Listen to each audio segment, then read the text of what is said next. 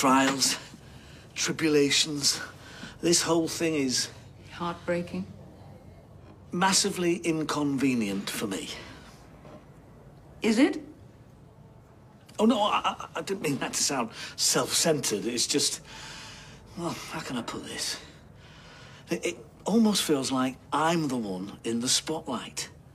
Unassuming Mr. Cellophane me. You know I'll be home soon. By your side.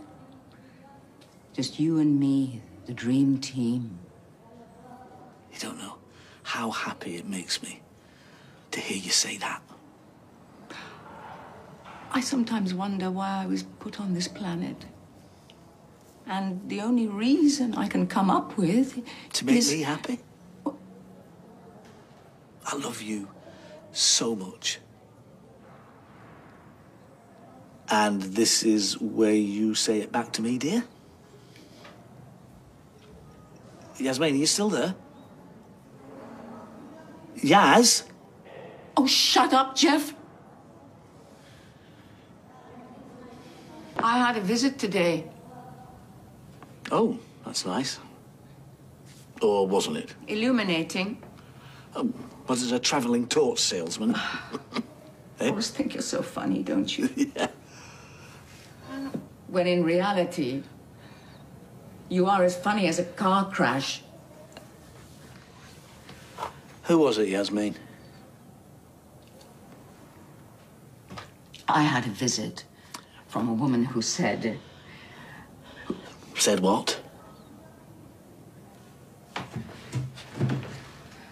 Said she knew you. Said she'd been in a relationship with you. Who? And that you controlled and abused her in the same way that you did me. I asked you who it was. You can't bandy those accusations around. You're On an illegal phone, I might add, without telling me who you're actually talking about. Well, you, you should know who it is, shouldn't you? Should I? Unless she's one of many. Like me. hmm? A, a list as long as your arm. You're unbelievable. You lied to me, didn't you? About what? About those exes. And how they treated you. How they bullied you, belittled you,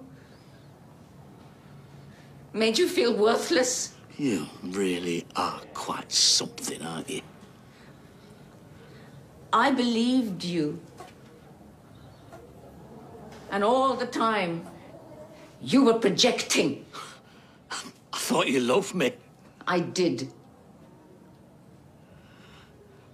In fact, dear reader, I married him. And yet you'll believe some random woman's word over mine. Correct. So, I was right. Or, or was I? What are you on about now? No, no, no, I was wrong. Because you're actually more stupid than I thought you were. You manipulated me, and I fell for it, but I shan't again. I will never, ever go back to you again.